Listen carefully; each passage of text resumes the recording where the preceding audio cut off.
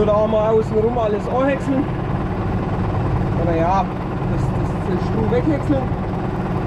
Und Ja, dann war der Häcksler später, äh, dann, dann macht er von unten rauf auch mit Häckseln. Und wenn das gemacht ist, tut er später den Häcksler runterklappen, ausschalten. Da wird noch ein bisschen was los abgelegt. Ich weiß noch nicht wie viel. Ich glaube, da haben wir auch ein paar Bohnen. Also das ist alles lose. Soll gepresst werden als Stroh. Da muss man halt mal gucken.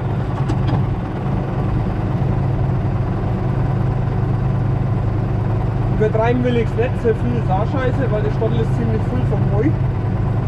So wenig will ich aber auch nicht machen, weil ich nur nicht weiß, was wir nächstes Jahr anbauen. Roggen war hier die Überlegung. Jetzt sind wir aber so ein wenig beim Raps eventuell. Hm.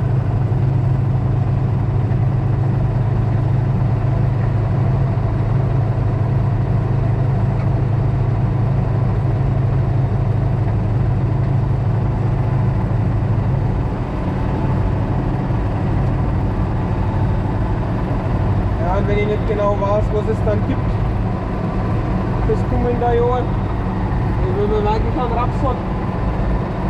Da gibt es ja keinen Stroh. Oder, ja, ich weiß nicht, Rapsstroh. Ist ja nichts Gescheites, weil da nochmal Kexel. Ähm, ja, müssen wir mal sehen.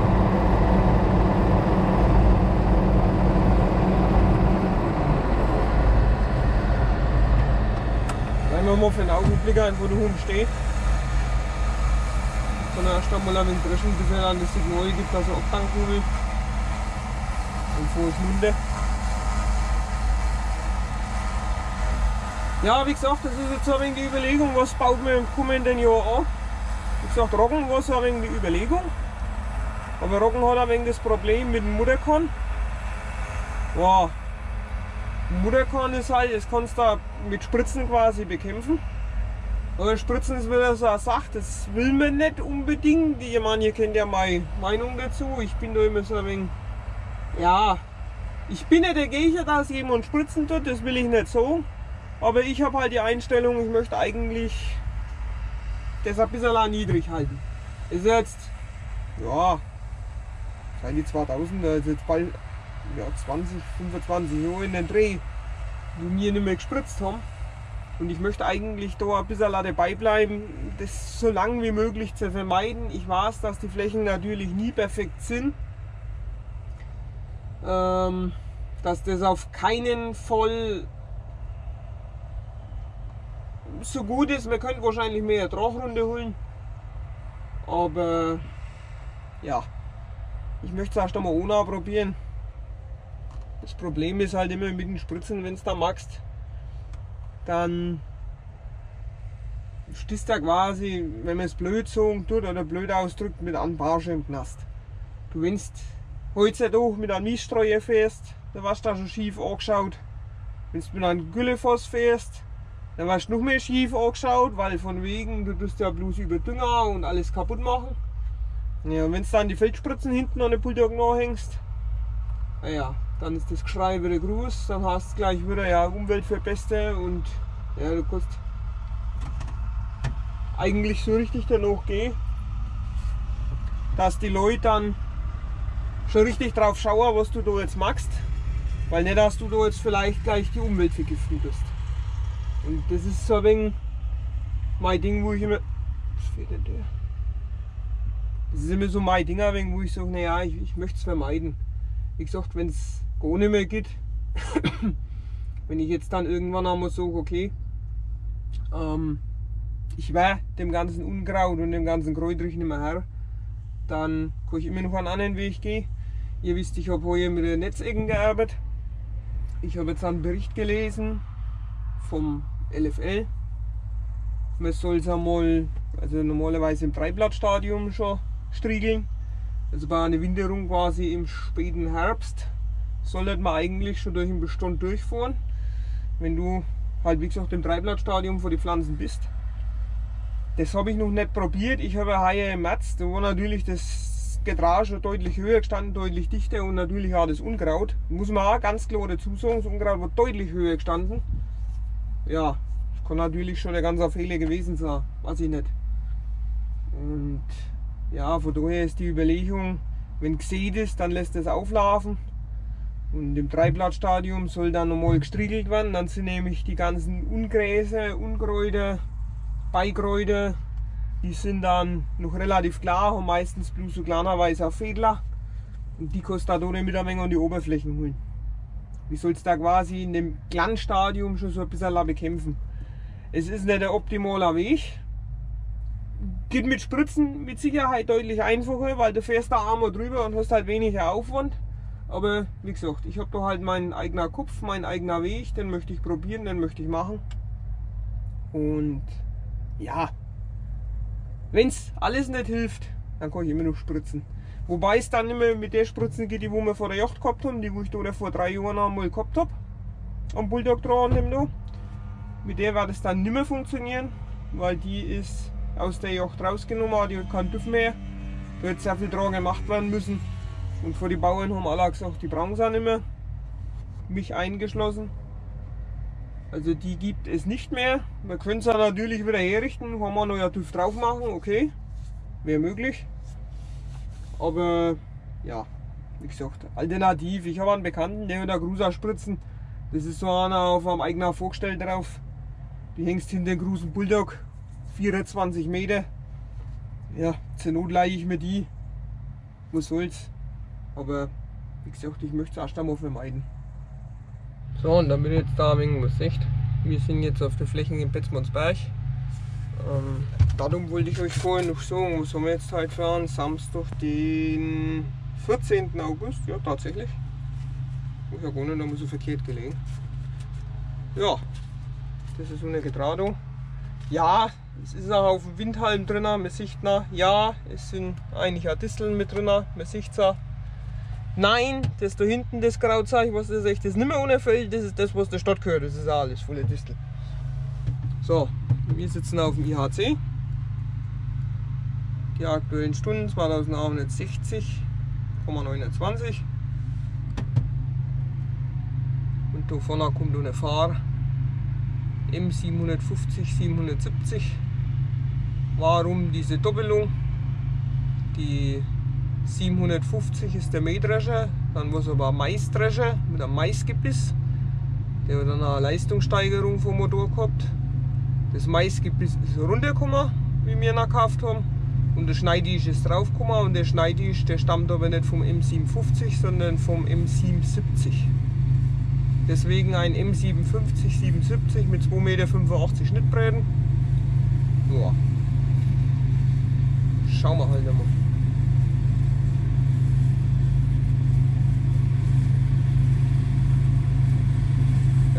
Kennt ihr ja.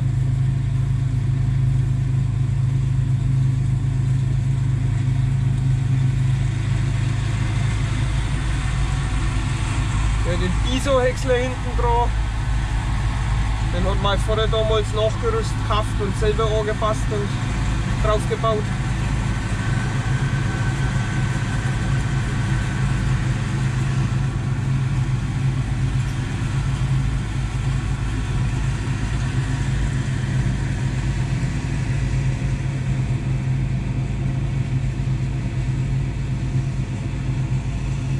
Und die Häcksle ist ganz praktisch, sonst jetzt da normal nur Schwaderblach. Dann müsstest du quasi immer alles pressen. Ja. Schon eine schöne Mähdrescher. Waren halt auch schon ein wenig in die Jahre gekommen. Ich glaube 74er Baujahr ist der. 74 oder 75, ich jetzt lügen. Ich bringe das immer durcheinander mit dem Radlader, weil der ist auch entweder 74 oder 75. Ich kann mir das immer nicht auseinanderhalten. Ich glaube, der Radlader war von 74 und der Mähdrescher von 75. Irgendwie so ähnlich. Das spielt ja keine Rolle. Wenn der dann Jahr hier oder her.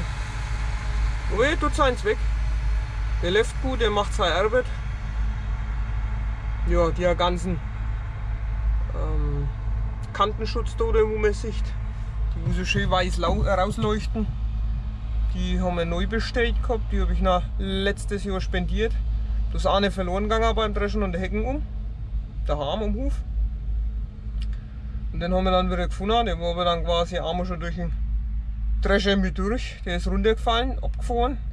Der Ost hat dann übergeschleudert ins Gedrag. Und ja, wie es halt dann immer so ist, ne? dann ja, hat halt der Mähdrescher das Ding mitgefressen. Ja, und dann habe ich gedacht, okay, die Kantenschutz gehören irgendwie dazu. Dann habe ich einmal neuer bestellt. Ja, und jetzt sind sie ringsrum wieder neu. Jetzt welche leuchten die so extrem weiß raus. Das restliche Weiß am Mähdrescher ist ja doch schon ein bisschen so äh, verblichen, vergilbt. Aber es macht nichts. Man darf ja sein Alter durchaus aussehen.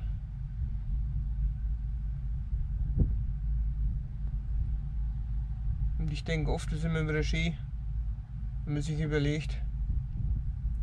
Wir haben vor einigen Jahren mal überlegt, ob man einen tun. Das der Vater überlegt, ob er dann verkauft.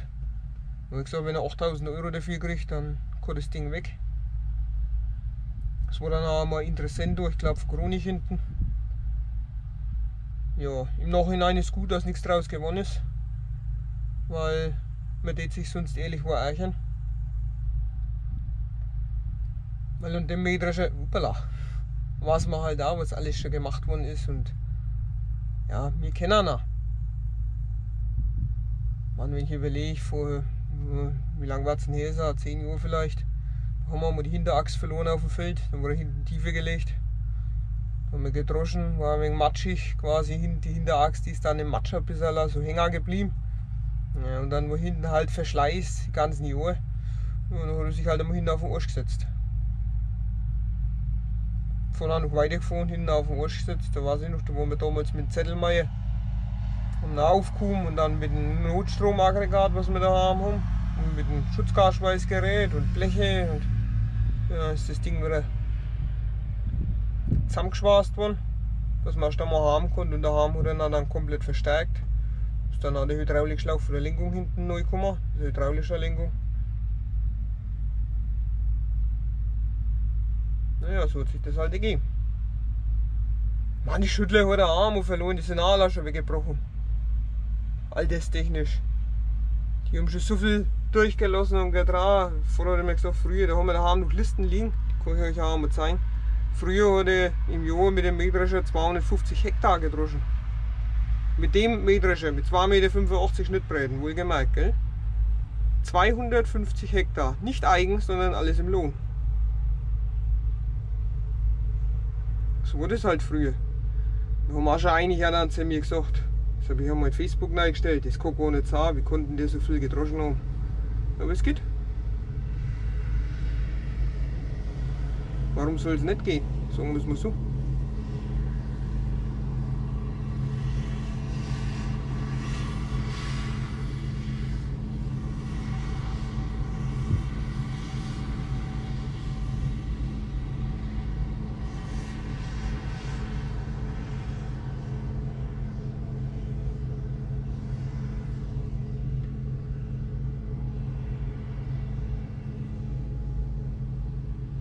So, jetzt war ich einmal ein Stück lang runterfahren. Bei Bedarf, wenn er abtanken will. Und dann kann ich einmal schauen, wie weit er unten an der Hecken ist. Dann kommen vielleicht unten an der Heckenbalken. Das ist vielleicht nicht die Sonne so extrem. Obwohl, die steht hinter mir, also von daher. Aber vom Wald kommt doch ein wenig kühleres Lüftler. Schauen wir mal.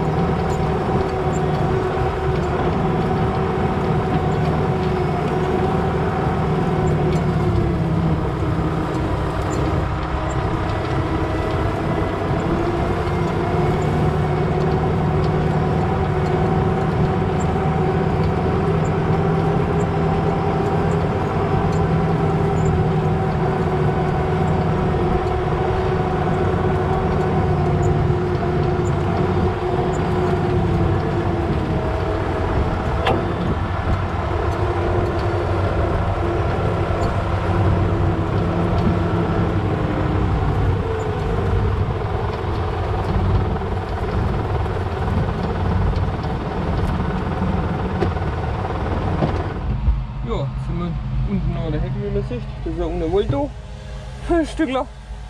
Hm, schaut es mit Käferbaum aus? Ja, Bucklaune. Die sind gleich weggesiegt. Und Cruiser gibt es eigentlich keiner mehr. Ja, also man sieht schon, es ist grün und alt drin, ja. Wie gesagt. Ich mache da jetzt kein Drama drum. Wohlgemerkt, die Flächen wurden ja fünf oder sechs Jahre stillgelegt. Und da ist jeder Scheißdreck drin gewachsen. Normalerweise, ich sag mal, konventioneller Betrieb wäre wahrscheinlich hergegangen, hätte das ganze Zeug erst einmal ähm, abgespritzt. Mit Roundup oder irgendwas dergleichen. Und anschließend gemulcht und neigeackert. Ja, wäre mit Sicherheit der richtige Weg gewesen. Wir sind hergegangen und ja, haben das Zeug gemulcht und haben es reingeackert. Und ja gut, die Quittung kriegst du natürlich, das Zeug das wächst halt dann wieder rauf. Wobei ich sagen muss, es ist besser wie letztes Jahr, letztes Jahr war schlimmer. Also mein Horben letztes Jahr, der hat schlimmer ausgeschaut. Ich bin gespannt, was wir an Mengen da zusammenbringen. Ich habe keine Ahnung, ich weiß es nicht. Also ich hoffe wie gesagt drauf, 5, 6 Dollar, dass wir insgesamt zusammenbringen. Das wäre schön, wünschenswert. Wenn wir es nicht zusammenbringen, gut, dann ist es so. Man wird sehen. Das Problem ist, da am Wald ist die Wildsäue drin und ist man die Reh extrem drin. Man sieht da das ein wenig die Spuren, also der, der Vas ist nicht reingefallen, sondern der ja, ist niedergetrampelt, war eigentlich wohl. Der Hund hat gesagt, was ist ja gar noch schlimmer. Weil der war gestern noch mal unten. Also ich war da unten gar nicht. Ich war mal mit dem Auto da oben gestanden, wo die Bäume sind. Ganz da drum, wo jetzt da der Mähdrescher ist. Und habe mir das Getraufe angeschaut, aber da runter, wir müssen nicht durch den Wald fahren und durch den Wald her. Oder halt hinten über die Wiesen runter. Ja, und das habe ich nicht gemacht. Ja, weil der Hund da hat eh gestern einmal geschaut, da war er mal Haus und hat gesagt, da ist schon extrem das Fixzeichen drin gewesen. Ich bin mir nicht sicher, es könnte sein, dass er jetzt abdanken will. Scheiße, jetzt stehen wir mit Hunden. Kacke war's.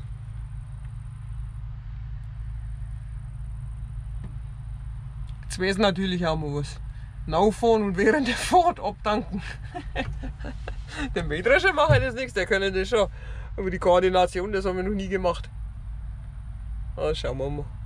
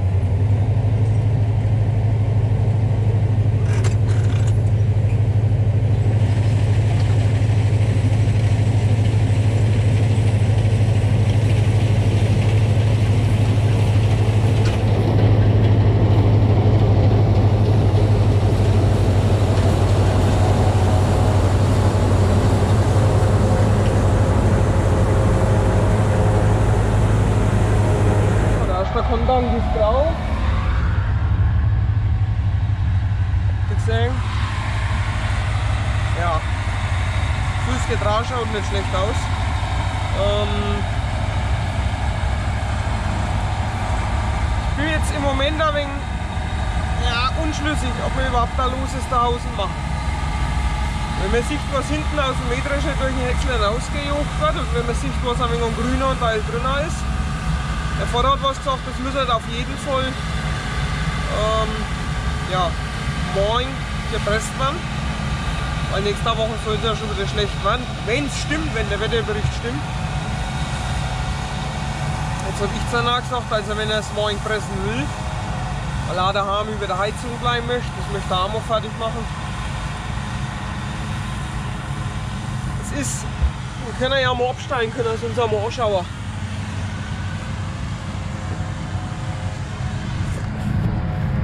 Aber das, was er hinten aus den Häckseln aushaut, ist ja sehr grün. Siehe da. Ich mache jetzt da mal diesen da. Ich weiß nicht, ob man sieht, das ist Saachtropfennuss. Das ist Saachtropfennuss, das Zeug. Meine Hände sind richtig nass. Wenn ich das jetzt als loses durchlasse, es ist halt, Aderhausen ist das Problem die Distel. Da habt ihr es auch. Distel, Distel, Distel, Distel. Das ist so das Hauptproblem Unkraut bei uns, ja. Die ist so die Hauptschuld. Dann kommt natürlich überall ein wenig der Windhalm dazu, der natürlich überall mit drin steht. Der Hunden jetzt nicht einmal so dramatisch, aber ja, der ist da. Das ist glaube ich Goldrude oder sowas. Ja, es ist halt das Zeug, was da, da von der rauf liegt, vom Wold rauf liegt. Meine Hunde ist sowieso schlimmer. Oben wäre es besser. Ich muss auch mal schauen, wenn er jetzt noch ein paar Runden gedreht hat. Vielleicht, dass oben wirklich ein wenig besser ist, aber das der Hunden definitiv, das ist nichts. Also da braucht man auf keinen Fall Loses machen, der Hunden. Weil das müssen wir da zwar doch in der Sonne liegen lassen wie Hai. Das wäre ja dann quasi auch Futter. Weil wo so ein Grünanteil drin ist, das könnte ich meiner Viecher mit verfüttern. Ne? Also man sieht es da schon. Ich denke, das erkennt man auf der Kamera. Wenn du da schon anschaust, siehst dass das nass ist. Das Getreide ist trocken. Wir haben gestern eine Probe neu, 13,3 Prozent Wasser. Also das Getreide ist nicht das Problem. Aber halt, ja, das was quasi im Stroh drin ist, das ist nicht so optimal. Ja, wollen wir schauen. Gesagt, wie es oben ausschaut. Das wäre ein anderes Ding. Muss man sehen. Und ich habe daheim noch ein bisschen Altstroh, das ist noch von 2009, das muss sowieso mal weg.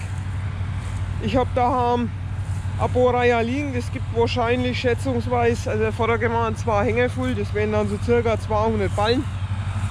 Das wäre auch gut. Und dann habe ich immer noch neun Rundballen, die ja eigentlich als Futter fast nicht mehr so eigentlich zu gebrauchen sind. Die sind ja eher, ja, als Eistreu sind sie auch gut, als Futter sind sie auch fast ein wenig stabig. Manche Viecher fressen es auch, aber ja gut, ich habe genug Heu letztes Jahr gepresst, von daher, äh Quatsch, letztes Jahr, das Jahr gepresst, 1220 Ballen. Es wäre jetzt quasi ja kein Problem, wenn ich jetzt sage, ich nehme die Rundballen und ich verfütter sie nicht, sondern ich streue sie als Eistreu-Ei. Man, die fressen sie natürlich auch mit, zum Heu zusätzlich und zum Groß und zum Silo und was sie halt alles haben. Aber ja, so kämen die dann auch weg. Weil, wie gesagt, ich weiß eh nicht, was ich damit machen soll. Ich bin da ein wenig langsam, 13 Monate, jetzt sind es noch 9. Ihr seht, seit 2018 hat sich da noch nicht viel getan. Es ist halt immer mit den Händen, du musst es aus dem Stadel rausbringen. Okay, wir haben einen Weg gefunden, wie es geht. Mit den Mulden, mit dem Radlader und dann halt aufmachen und mit dem Huckelkorb dann immer einen Tal reindrehen. kriege ich einen, circa einen halben Ballen kriege ich schön unter, den anderen halben Ballen dann ein bisschen später, zwei, drei Wochen später. Also das geht. Aber ist natürlich ja, zum Händeln ein wenig umständlicher. Kleiner HD-Ballen, die haue ich in die Mulden rein, sie auf, schlicht sie auf und habe gleich 60, 70 Stück da drum. Ja, wie gesagt, funktionieren tut es, da brauchen wir nicht drüber diskutieren, aber Wenn ich die jetzt dann nicht als Futter, sondern wenn ich die als Eistreu nehme, das wäre glaube ich auch nicht schlimm. Ich glaube, da wäre auch kein Drama. So schlimm wäre es nicht. Von daher, ich bin eigentlich am überlegen, ob man da oben dann sagt, man macht loses Material, ob sich's rentiert, ob man wirklich sagt, man braucht. Ja. Mal schauen. Sehen wir schon. Wie gesagt, wenn es jetzt Kahns gibt und selbst wenn wir nächstes Jahr dann Kahns haben, ich komme irgendwie über die Runden, das ist glaube ich nicht das Problem. Also Stroh wird es mit Sicherheit nicht scheitern. Weil ich bin rigoros, ich streue dann Arm mit Heuei. das ist zwar Futter, aber was soll's. Na, wie gesagt, wenn es kein Stroh gibt, gibt es kein Stroh. Andererseits, das was jetzt da liegt, ja gut, es geht wieder als Nährstoff in den Buden. Das bleibt auf der Fläche drauf. Das geht dann beim Grubben wieder mit rein, wird wieder mit zersetzt. Und ja, es bleibt auf dem Feld. Also der Kreislauf bleibt erhalten. Veredelt natürlich mit äh, Scheiße und Brunse für die Viecher ist es nicht. Sorry, wenn ich das jetzt haben muss so ja, ausdrücke. Ist ja schon. Ja, von daher ist kein Drama. Ist kein Drama. Oh, Ameisenbau. Ja, was da hinten alles wächst. Wahnsinn. Wir haben wenig einen Schotten.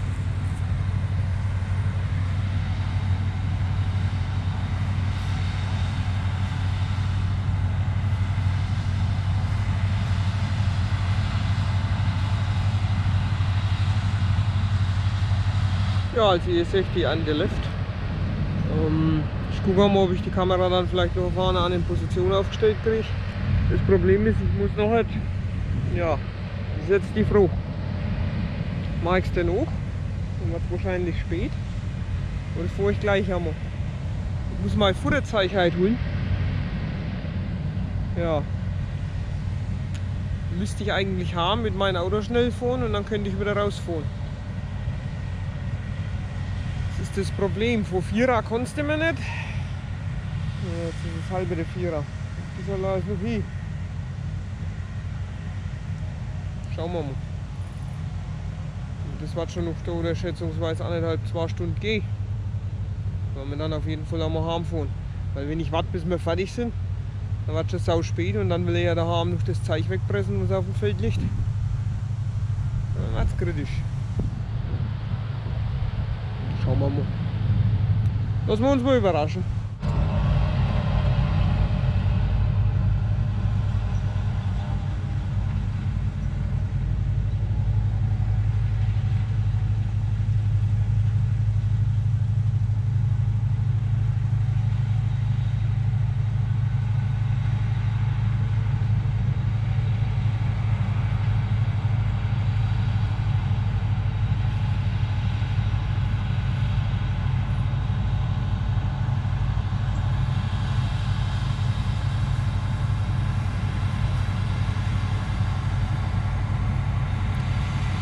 hilft alles nichts, müssen wir trotzdem erst einmal heimfahren. Scheibenkleister.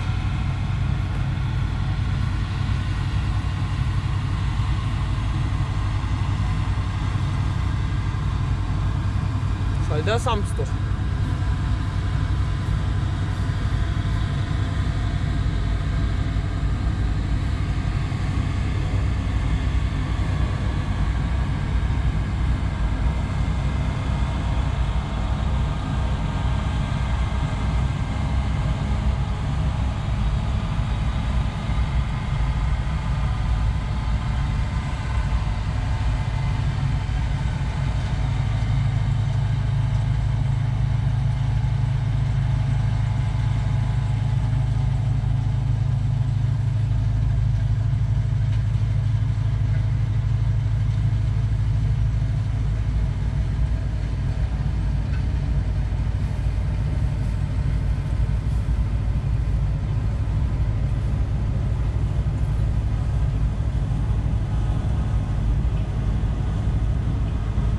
ich habe es gerade in meiner WhatsApp-Gruppe schon gesagt, weil da habe ich auch ein Video gemacht, ein kleines. Die Sorten Badis ist ein schöner Sortenweizen eigentlich, kann ich mich nicht beschweren. Steht gut da, wächst gut. Ist ein wenig älterer Sorten. Geht als Backweizen durch oder als Brauweizen. Ist nichts verkehrt. Ein wenig Alterssorten, wie gesagt. Das Problem ist halt, ja, er hat relativ kleiner Kandler. Und der Ertrag ist jetzt nicht so riesig wie bei einer modernen Sorten. Ich meine, bei einer modernen Sorten brauchen wir nicht drüber diskutieren, da holst du vor einem Hektar deutlich mehr runter als wie jetzt mit den Sorten da. Es sind kleiner Kandler und die Ehren ist auch nur mittelmäßig dran. Ist aber normal, mittelmäßiger Ertrag. Äh, du kannst da nicht erwarten, dass du dann pro Ehen, keine Ahnung, wie viel Kandler runterholst. Um euch das auch mal kurz zu zeigen. Das ist so ein Ehen. Ein relativ kleiner Kandler und natürlich auch nicht der Mega-Ertrag. Also das sind, das sind kleine Ehen. Der Schnitt ist eher so. ist das jetzt sogar mal ein wenig größerer, die Kirche. Wie gesagt, da kann man dann nicht erwarten, dass man jetzt dann den mega Ertrag runterholt. Dann wie gesagt, dazu sind es relativ kleiner Kandler. Aber das ist für mich trotzdem kein Grund, an einer Rassaten Was anzubauen. Hey, Wusch. Weil die Sorten ist nicht schlecht. Also da einmal Kandler. Die sind nicht sonderlich groß. Da gibt es schon größeres. Ja, muss man damit leben. Ich stelle jetzt auf jeden Fall einmal den Kipper da außen ab. Dann fahre ich einmal heim. Eben flattern wir runter von mir. Ja, grüne Heuschrecken immer. Muss ich nicht unbedingt auf mir haben.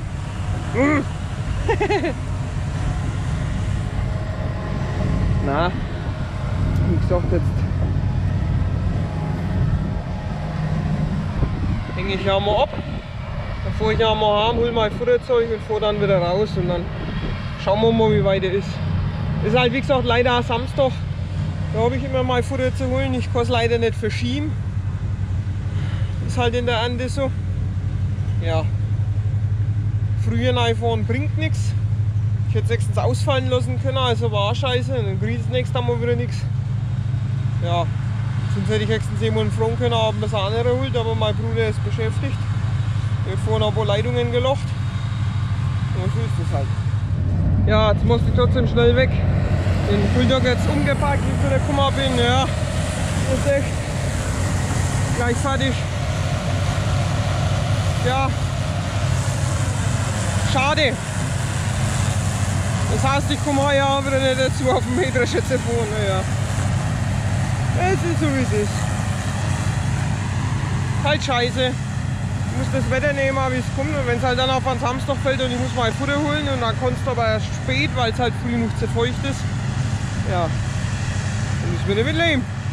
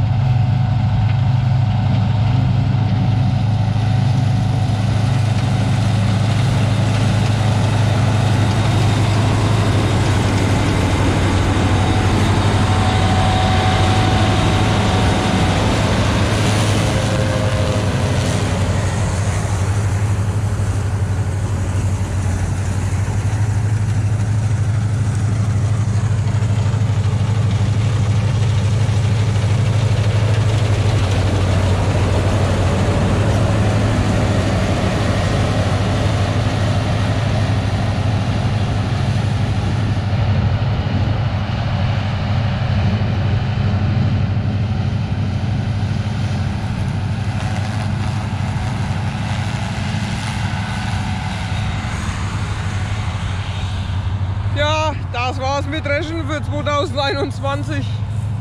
An dieser Stelle muss ich sagen, tut mir leid, dass es nicht mehr Aufnahmen davon gibt. Ja, wie gesagt, das ist jetzt einfach so.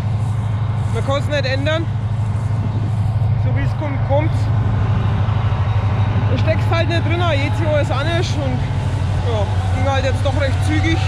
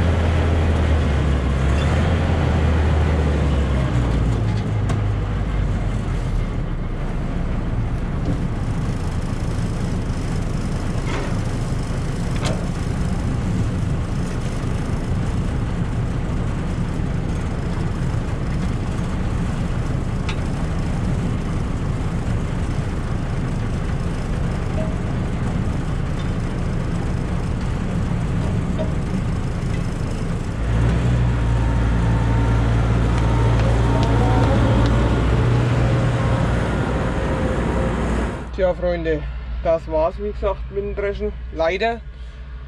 Ähm, ich hätte euch viel lieber mehr davor gezeigt, aber ja, es ist halt einfach so. Ich kann es nicht ändern. Wenn jetzt da Daumen das welche runter gibt, ja, pff, ist halt so. Äh, ich komme mich leider nicht zerteilen. Ich kann nicht auf fünf Hochzeiten gleichzeitig tanzen. Das ist einfach so. Und wenn ich ein Foto holen muss, dann muss ich ein Foto holen und kann halt nicht da auf dem Feld stehen bleiben und warten.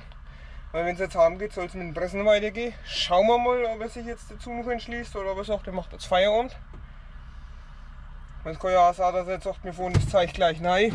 Ja, die Welt ist nicht gewonnen. Da kommen dann noch die Mulden, die wo ich da haben habe. Und dann ist der Kipper voll. Ja, mehr wäre schöner gewesen. Ich habe vorhin eigentlich noch die Hoffnung gehabt, ja, könnt, aber na gut, so wie es ist.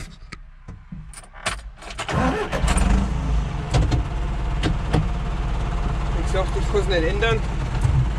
Mehr wäre immer schön.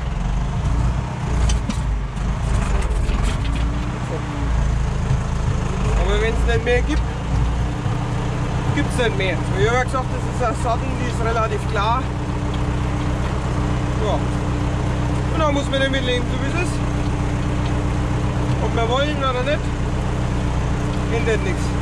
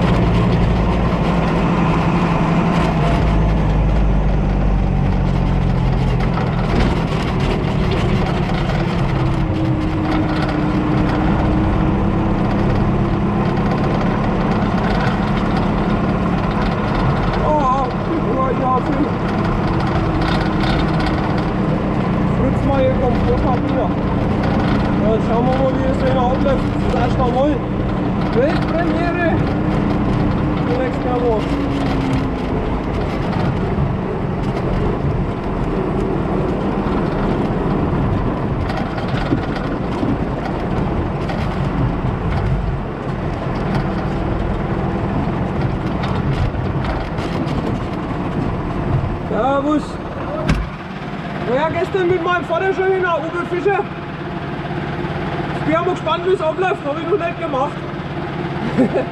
Aber du kannst Regelbühne, da wird gestochen Okay?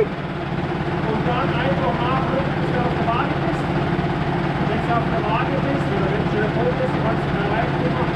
Entweder Vertrag machen oder halt dann, Vertrag haben wir schon gemacht gestern, ja. dann brauchen wir eine Schrift und da arbeiten wir mit der Bühne. Alles klar. Danke.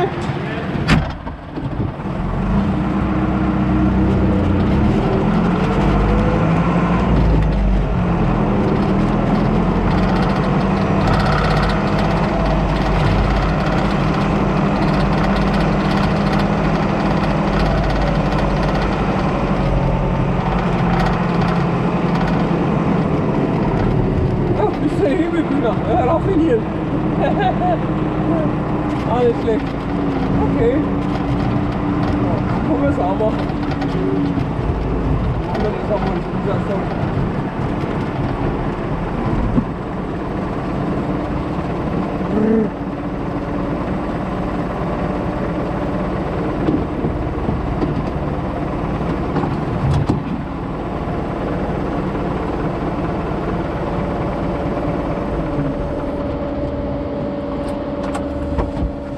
So, sind wir noch bei der Europa-Besten, waren wir ja schon da. Und ja, das ist jetzt für mich das allererste Mal, das Premiere. Ich habe noch nie Straße selber da reingefahren, ich war schon ein paar Mal dabei. Früher ist aber von einer Gosse gekippt worden. Und jetzt machen sie es mit Vaterbinde und befördern es rein. Ja, schauen wir halt mal. Wie gesagt, das ist für mich Neuland. Hat gesagt, er fährt halt nicht mehr rein, also wenn, dann muss ich es machen. Ja gut, haben wir gedacht, dann mache ich halt einmal, ne? Schauen wir mal. So, jetzt ist an die Bühne da hinter mir abgestochen worden, drum gezogen worden. Dann war ich auf der Woche. Dann musste ich noch ein paar Unterschriften machen. Vertrag war ja gestern schon alles. Also Liefervertrag. Ja. Und jetzt bin ich vor der Woche runtergeschickt worden, da runter. Und jetzt muss ich dann ans Bond nachfahren und da wird es dann neu befördert. Ja, schauen wir mal. Ich warte mal auf weitere Anweisungen. Ich stelle mich jetzt einmal nicht unbedingt ans nach. Es ist zwar frei, aber nachdem ich das nie gemacht habe und das das erste Mal ist, bevor ich mich jetzt davor mogel und vielleicht der andere schon darf oder so, dann machen wir schön fein säuberlich drauf warten. Und warten auf Anweisungen. So. Man wird sehen. Ich bin gespannt auf den Betrag. 4 Dollar, 4,2 Dollar vielleicht. Ja. Ja, sowas in den Dreh. Nicht die Welt. Schau halt einmal. Die Bulldog-Scheiben nicht mehr gewaschen können. Sieht mir nichts.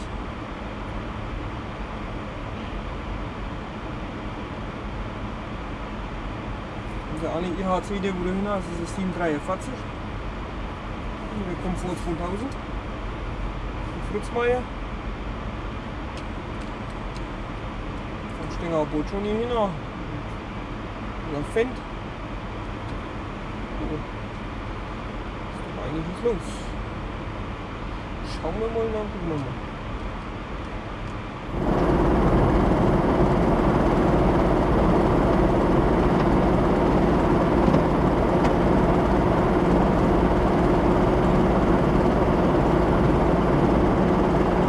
Oh, jetzt kommen